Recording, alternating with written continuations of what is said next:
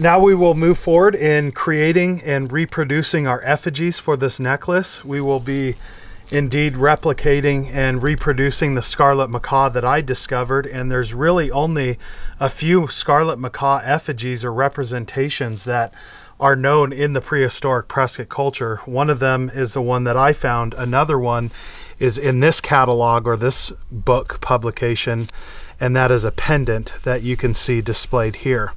This is believed to be a representation of a macaw. This book is produced and published by the Arizona Archaeological Society, and it covers the data that was recovered at the site, very important site called Sundown. Sundown had a high frequency of argillite, whether it was produced there or imported, we don't know. Uh, likely both. So I'll cover what we're looking at here from bottom to top. You can see we have everything is true to size. So we have our centimeter measurement. We have round disc beads.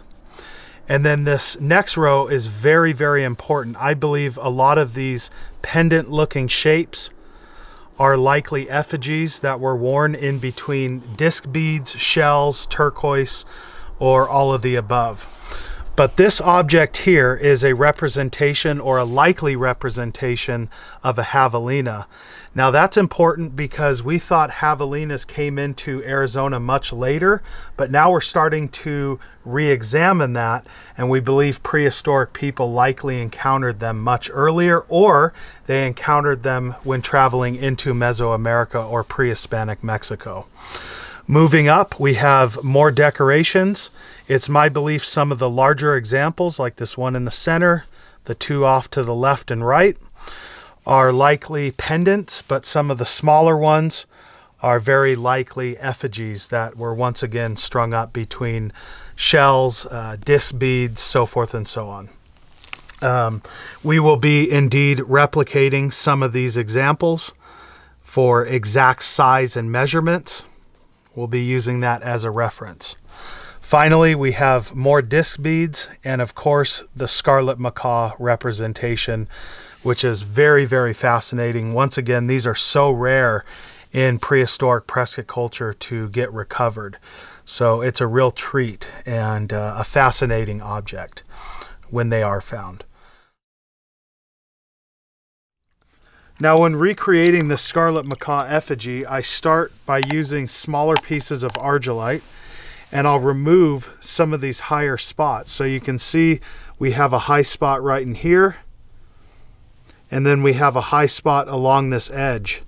Once I have a more symmetrical piece, we can further shape it into kind of a modified football shape. So I'll start by removing these spots Again, argillite is a soft material, so it works well when grinding it on sandstone or any rough abrasive stone, even sandpaper. But sandstone does the job and you have a large surface area to work the piece. You can see we've already made significant progress.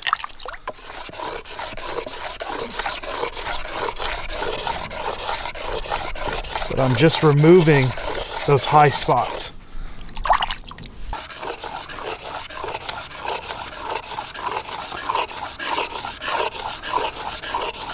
You can see the piece is fairly symmetrical now. There's a few imperfections I can work out as the process goes along, but now it's time to remove these corners.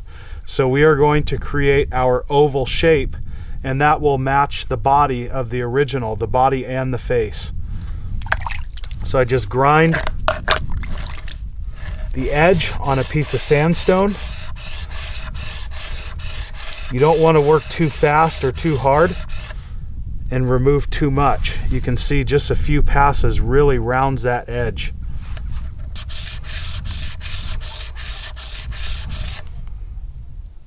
As you can see, we have these edges round and they're not perfect and that's okay because it's still quite thick and overbuilt as we continue to work with the piece and recreate the scarlet macaw effigy, I will reduce mass little by little. So what I'm doing right now is I'm creating a taper from the belly into the tail. So I'm just gonna swoop that in towards that edge. So you can see I'm removing material right here. So I start a little bit below the midpoint and I just remove material into that tail. So we're just getting the overall shape of the effigy. And again, as the process goes along, I remove mass and I make adjustments. So we will round some of these edges after I create that taper.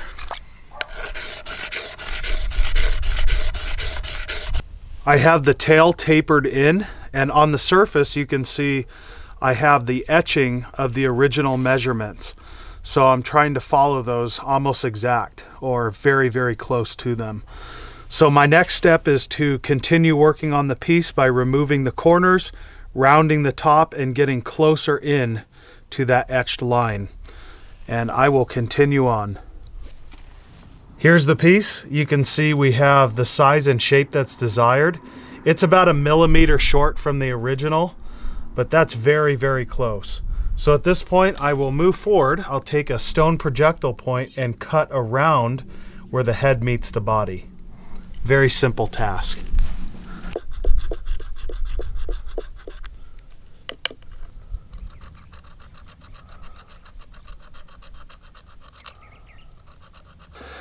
Now we have the line cut around, so at this point I'm going to modify this more and the face was smaller than the body.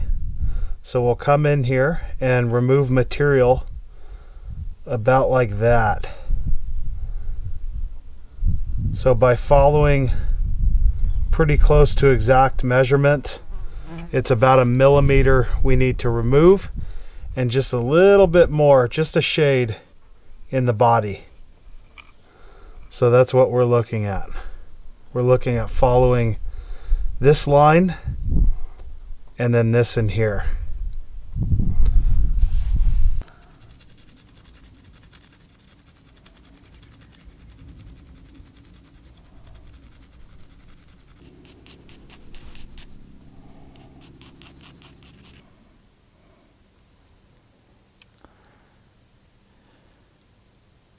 Here's where I'm at with the macaw effigy. You can see I have the shape and size that's desired. It's starting to look more and more like a parrot. I'm going to wrap things up for the evening. It's starting to get dark out here and I'll continue on tomorrow morning. I have a bit more shaping to do. After that, we'll start the facial and body features. The next morning, I clean the stone drill bits free of caked on argillite. Once clean, the drill is placed on each side of the face and spun to create the eyes. After the eyes are drilled, a stone projectile point is used to cut and shape the mouth. Although these facial features are quite basic, additional work must be conducted by rounding the edges of the cuts and removing mass along the jawline.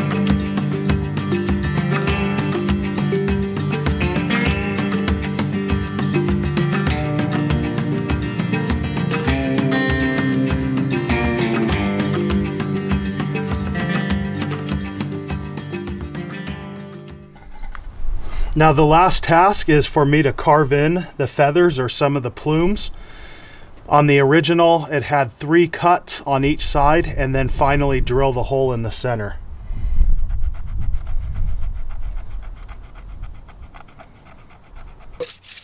And I'm just slowly drilling through the body. Quite an easy task.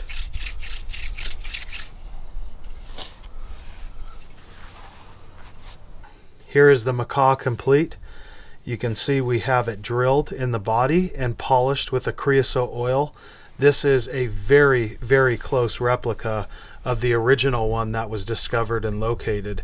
The only difference is, like I said, in the tail, it measures a millimeter short. That's it. Everything else measures out identically. The facial features, same thing, almost identical. The body, the carvings, almost identical as well. This will make a very nice addition to this prehistoric style necklace. Hi everyone, that wraps up part three of this video series. Do me a favor, hit the thumbs up button and click the notification bell. By clicking the bell, it will notify you next time we release a video on this channel. We'll see you on part four where we finalize this project.